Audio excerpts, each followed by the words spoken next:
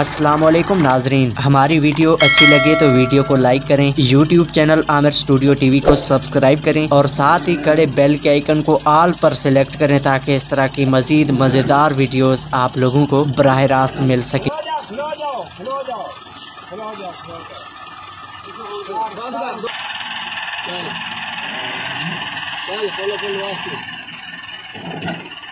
ऐसे